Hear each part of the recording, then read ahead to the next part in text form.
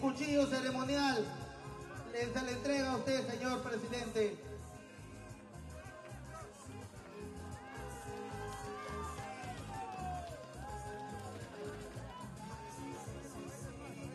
Muy bien.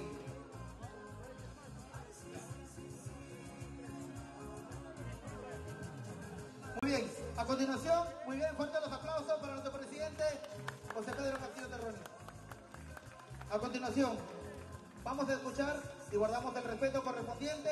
A continuación, dejaré en el uso de la palabra al señor presidente constitucional de la República, José Pedro Castillo Terrones.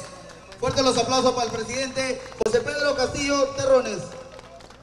Durante toda la mañana el presidente prácticamente ha estado aquí en la región de Lambayeque, ha recorrido varias instituciones educativas. Señora directora ejecutiva de Reconstrucción con Cambios, señores ministros, congresistas que me acompañan, queridos compatriotas, queridos hermanos de Pitipo, muy buenas tardes a todos y cada uno de ustedes. Venimos recorriendo el país, venimos recorriendo el norte del país, venimos recorriendo los pueblos, antes de ser candidatos. Como maestro y como dirigente de los maestros sé cómo están las escuelas en todo el país. Y veo el grito de maestros, el grito de padres de familia, el grito de los barrios, el grito de los campesinos, cómo tenemos que sacar adelante la educación del país. Pero más allá de darle una infraestructura, hay que preocuparnos como gobierno, como responsabilidad del gobierno, dar por justicia a este país este derecho al agua, al desagüe, al alcantarillado, pistas y veredas a este pueblo. Hay que asistirle con un hospital, hay que asistirle también con lo más emergente.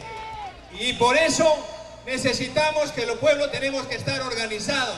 Y más allá de eso, ¿cuántas veces nos hemos sacado nosotros ese sudor de la frente como trabajadores?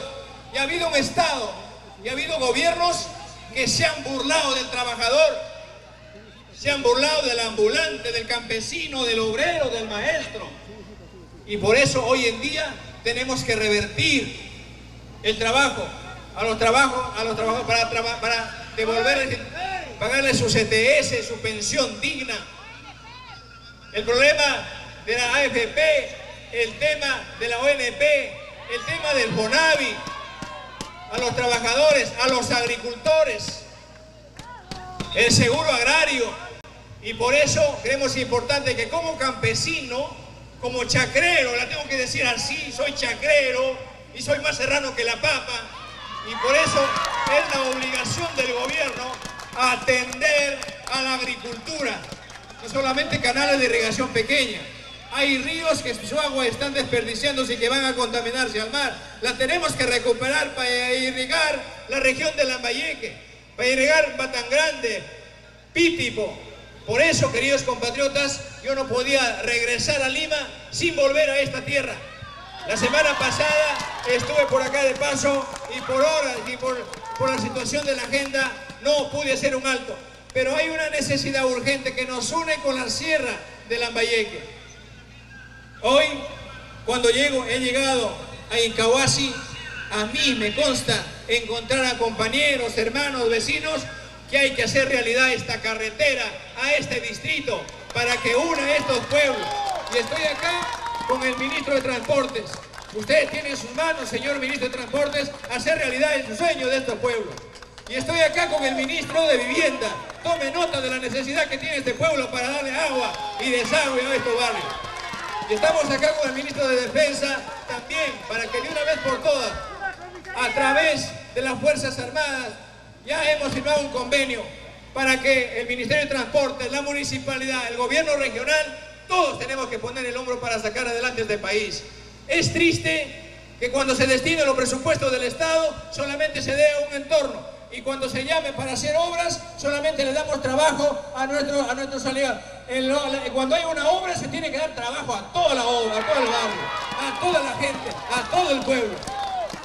Quisiera saludar a los hermanos ronderos, a los compañeros que de una u otra forma estamos ahí para darle tranquilidad a nuestro pueblo. La delincuencia nos ha desafiado y nos ha declarado la guerra. Así es que hoy en día tenemos que organizarnos. Y tenemos que no solamente darle infraestructura educativa a nuestro barrio, al pueblo, sino también tenemos que dar escuelas seguras, barrios seguros, familias seguras. Y eso no solamente en el marco de la inseguridad ciudadana, sino que hay que garantizar su alimentación de los niños.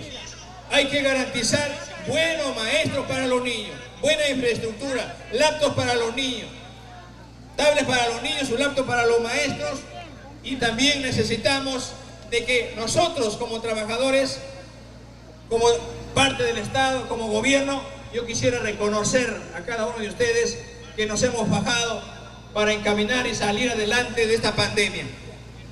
Gracias pueblo peruano, gracias a Lambayeque, gracias a ustedes que hemos asumido este tramo de la vacuna. Hoy vamos a inyectar el, el capital, inyectar capital a las municipalidades y hacemos un llamado a los gobernadores regionales y también mañana el gabinete va a estar ante el Congreso de la República pidiendo que el Congreso agende lo más emergente para el pueblo, como lo necesita Pítipo, como lo necesita Lambayeque, como lo necesita el norte, el sur, todo el país.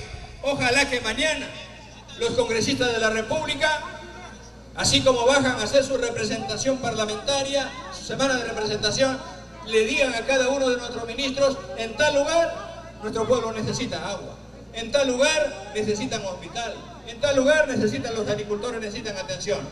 Eso es lo que tenemos. Señor alcalde, de usted, de usted que ha puesto y se ha acercado al gobierno con algunos de los proyectos y si no lo ha hecho, hágalo de inmediato. Atienda a la población, escucha a la población, lleve los proyectos que nosotros la vamos a atender inmediatamente. Acá tenemos a la directora ejecutiva de Reconstrucción con Cambios. Hace falta urgentemente ver de qué manera vamos a emprender esta verdadera reconstrucción que no puede postergarse más. ¡Viva Pítipo! ¡Viva, ¡Viva Lambayeque! ¡Viva! ¡Viva el Perú! ¡Viva!